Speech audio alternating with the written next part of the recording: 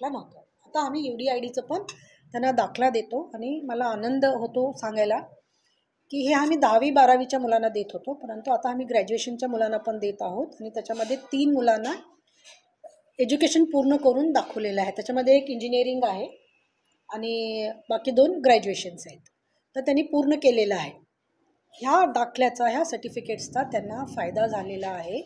त्यांना जो एक्झाममध्ये वेटेज मिळतो टाईमचं म्हणा किंवा ते जे वेटेज मिळतो मदत मिळतो त्याचा त्यांना फायदा झालेला आहे. हे मुलं हुशार असतात. हे इंटेलिजन्समध्ये कुठेही कमी नसतात. बट हे जे तीन प्रकारचे प्रॉब्लेम्स असतात अध्ययन अक्षममध्ये डिस्कॅल्क्युलिया डिस्ग्रॅफिया आणि डिस्लेक्सिया तर ह्या तीन इश्यूजमुळं त्यांना थोडंसं नॉर्मल मुलांसारखं वागता येत नाही. डिस्कॅल्क्युलिया म्हणजे त्यांना गणितामध्ये अडचणी येत आहेत ते आकडे समजत नाहीत त्यांना. असं नाही की त्यांना गणित येत नाही ते आकडे समजत नाहीत किंवा ते व्यवस्थित नाही.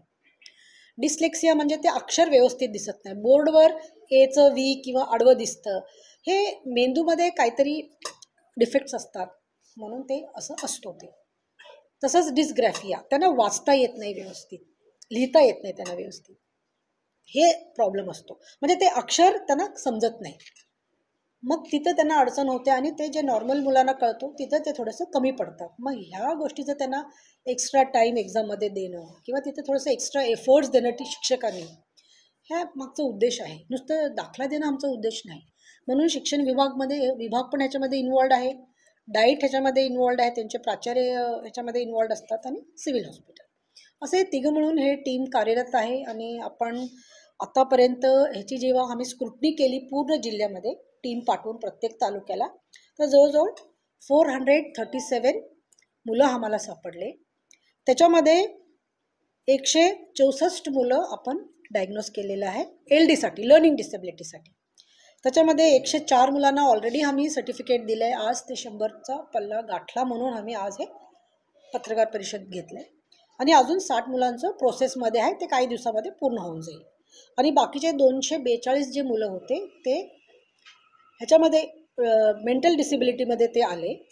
इंटेलिजंट इंटेलेक्च्युअल डिसेबिलिटी तर आम्ही त्यांना त्याचा दाखला दिलेला आहे. ह्या पद्धतीनं ह्या मुलांचं स्क्रुटनी होऊन त्यांना त्यांच्या शिक्षणामध्ये थोडंसं भार म्हणजे आधार मिळावा हे त्यामागचा हेतू आणि आपण त्यांना ह्या पद्धतीनं मदत केलेलं आहे. तर हे अनंत अडचणींना आम्ही तोंड देऊन केले. एक तर पहिले सगळ्यांना शिकवणं की हे ओळखणं शिक्षकांना पहिले शिकवावं लागतं. सगळ्यात पहिले कोण आईवडील आणि शिक्षक ह्या त्या मुलांच्या संपर्कात येतात. त्यांच्या न लक्षात आल्यानंतर त्यांनी मग आमच्याकडे तपासणीला पाठवतात. मग त्याच्यानंतर आम्ही जे काय हां तपासणी करायचं असते तपासणीचं साहित्य पण मी गेल्या दोन वर्षामध्ये शासनाकडून त्याचं अनुदान मला मिळालेलं आहे आणि ते मी खरेदी केलेलं आहे. ते साहित्य खूप गरजेचं असतं. मग ते साहित्य मला दोन अडीच वर्षापासून माझ्याकडे आहे आणि त्याचा फायदा झालेला आहे. आणि अजून आता जसं दहा टक्के आपण ग्रहित म्हणजे अपेक्षित आहे की दहा टक्के मुलांना हे एल डीचं प्रॉब्लेम असू शकतो. तर आपण फक्त आता आपल्या लोकसंख्येप्रमाणे एकशे साठ म्हणजे अजून खूप कमी आहे. ह्याचा आकडा अजून जास्त वाढायला पाहिजे. तर प्रत्येक मुलापर्यंत जे गरीब मुलं आहेत ज्यांना कळत नाही किंवा पालक दुर्लक्षित करतात किंवा त्यांची परिस्थिती नाही इथं येण्या येण्याची तर ह्यांच्यापर्यंत हे विषय जायला पाहिजे. जेणेकरून ते मुलं त्यांच्या शिक्षणामध्ये पुढे येतील. तर ते कायम शिक्षणामध्ये मागं राहतील आणि ते पुढे येणार नाही आणि त्यांचं नुकसान आहे.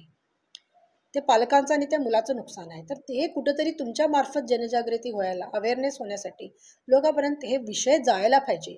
ह्या हेतून आम्ही हे पत्रकार परिषद केलं आणि आपण हे वाढवायला तयार आहे माझ्याकडे सिव्हिल हॉस्पिटलमध्ये हे मंगळवार आणि गुरुवार हे चालू असते. एका मुलाला तपासणीला अर्धा तास तरी लागतो. कमी डिपार्टमेंटमधून फिरून येऊन तर त्याची क्वालिटी राहते.